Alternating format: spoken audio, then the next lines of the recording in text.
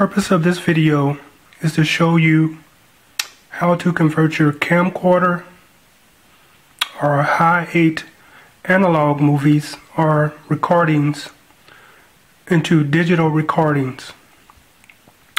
Uh, thank you. Please hit that subscribe button and that like button. Thank you. As you can see, this is a Hi8 camcorder and the, Hi8 camcorders they take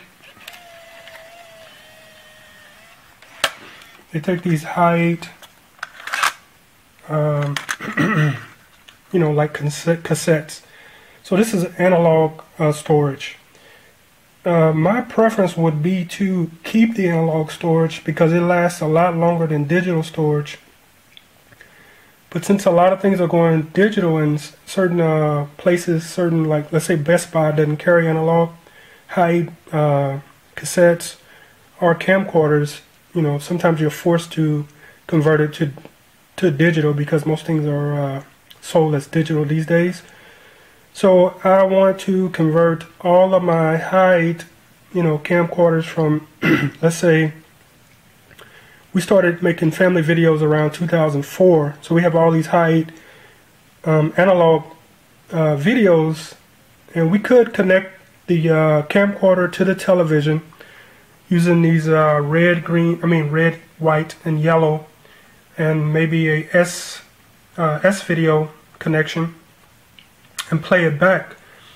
But um, like I said, the purpose of this video is to show you how to uh, how to uh, convert these Hi8 um,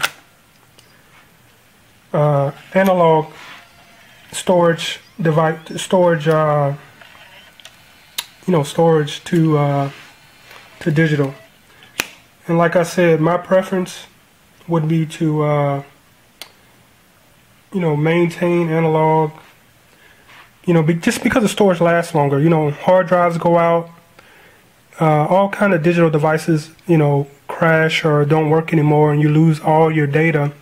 But these analog devices like that Hi8 cassette last forever. I mean, I've had that, we've had that cassette since 2004. But, you know, I'll get off my soapbox. But, um, so stay tuned and I'll show you the software and the hardware you need to convert Hi8 analog cassettes to digital, to, to you know, videos to digital. Um, so the components you'll need to accomplish this, one of course is a camcorder. Secondly, you can you need a S-video cable. That's what this guy is here. And an S-video cable or a uh, or a composite video cable and you'll need the audio cables. So this red and white are the audio cables and this guy is connected to my camcorder here. This guy here. And for this demonstration I'm not going to use the composite video. I'm actually going to use the S-video cable because it, it has a better video basically than the composite in my opinion. So the S-video cable is connected to this device here and we got this from Dell and it's also connected to the camcorder. So that's how the video is going to get transmitted to the computer from the S-video to this device.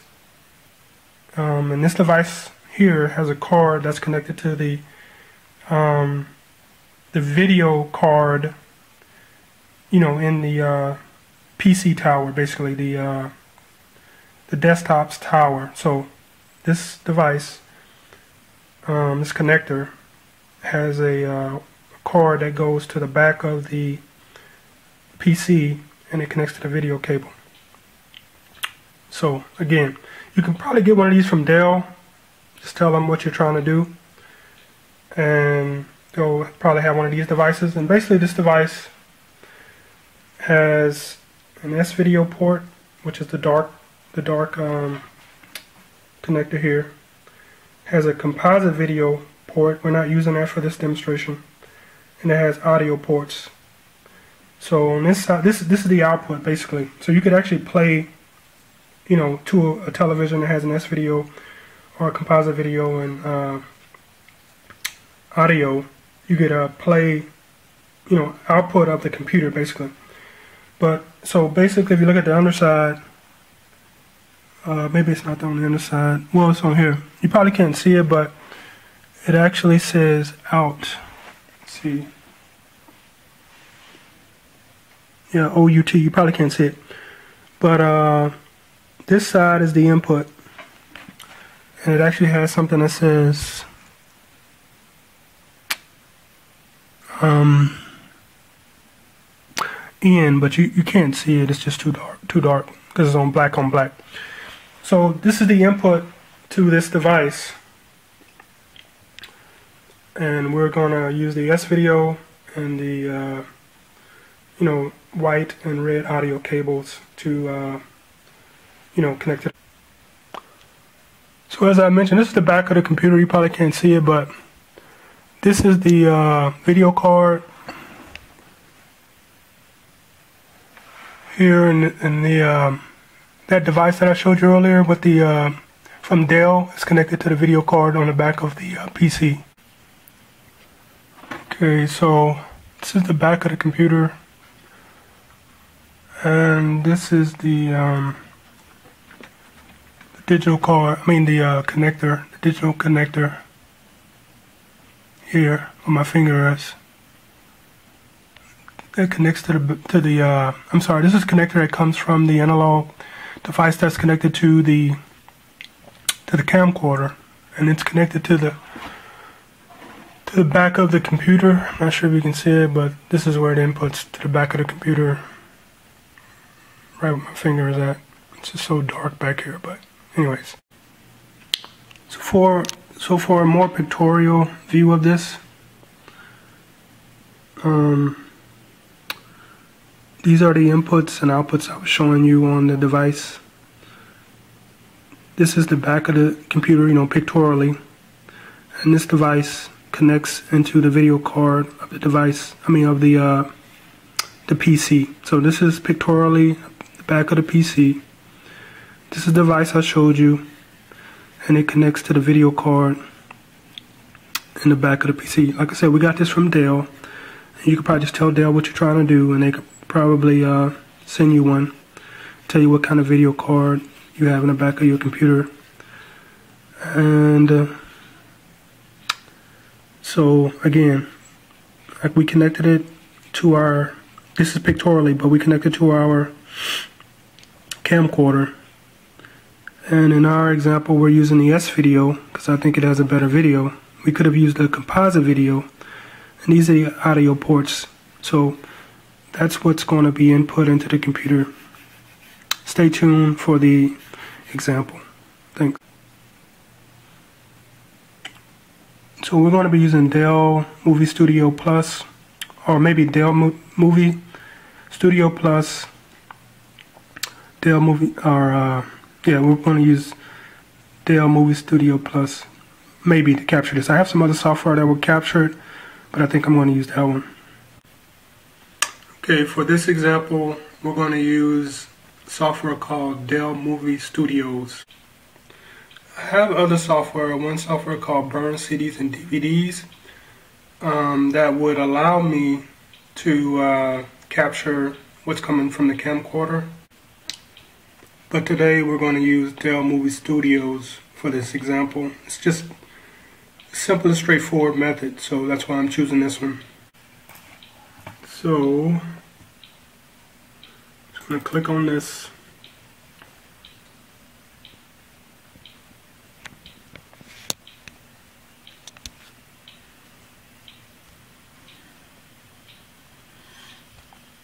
It's just loading. Okay, once it loads, we're going to, um, there's some different options. One option is called um, easy capture. One option is called edit videos. The other, other option is called video CD maker. So we're just going to choose capture videos.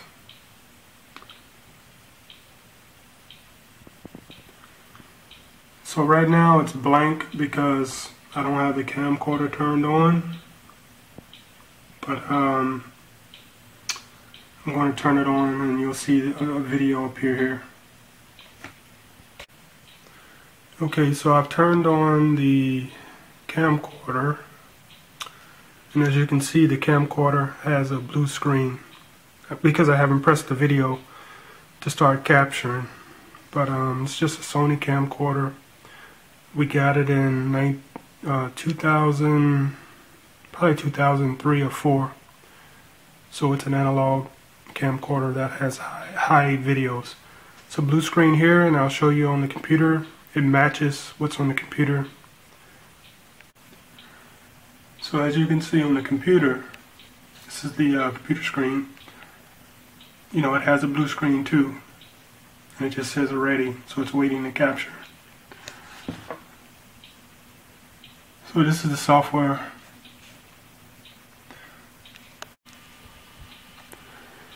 Just want to give you a quick example to show you what's being playing on the camcorder is also okay I just want to give you a shot of what's being played on the camcorder is also showing up on the uh, computer software so as you can see hopefully the same shot is being played on both. It's the camcorder. As you can see it says select source. So I'm selecting the capture cards because that's where the uh, it's plugged into. So I just hit next. Uh, video capture, just general purpose. It says, uh, do you want the best capture? I always select um, normal capture because just uses less memory when you say normal. So then I say next. So it says uh, you want a video file. So it'll ask you to start capturing. So once you start capturing, you know, it's, it, it uh, it actually when you want to stop capturing. This is how much time I have left to capture. Uh, you know, memory on my computer basically. So uh, uh, it's only two minutes left. So just for this example, see, it's capturing the video that's being played from the camcorder. I showed you that earlier. So since uh, I don't have much time left, just for this example, I'm going to say stop capturing.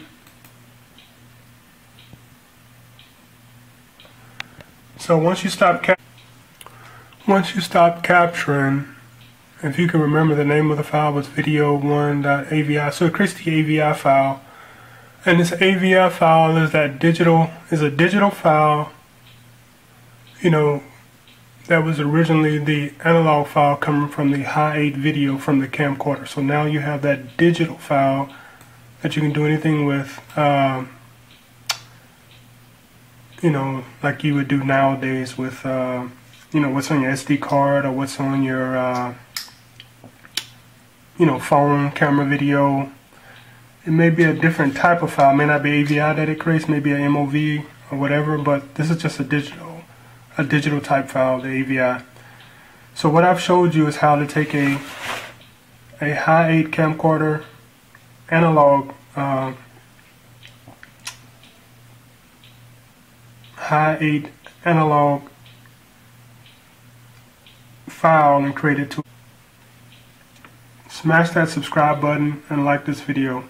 If you have any questions, please ask them below and I'll do my best to try to answer all the questions. Um, so hopefully this helps. I, I, prefer analog videos like the Hi8 because they just last longer. I think the companies are forcing us to go digital. I don't think the digital hard drives and you know, etc., etc., last as long as the Hi8 analog videos. So you'll have to replace your hard drive, you know, eventually. But you know, for right now, it seems like you know the companies are forcing you to go digital because they don't carry many analog memory uh, type devices like analog camcorders, high uh, cassettes and stores anymore. So you might want to push back on companies and force them to start creating these analog memory devices because they just last so much longer. That's that's just my opinion.